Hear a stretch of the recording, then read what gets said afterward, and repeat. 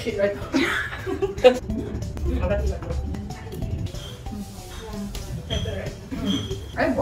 Let's try the last one. The brownie trifle. It looks moldy.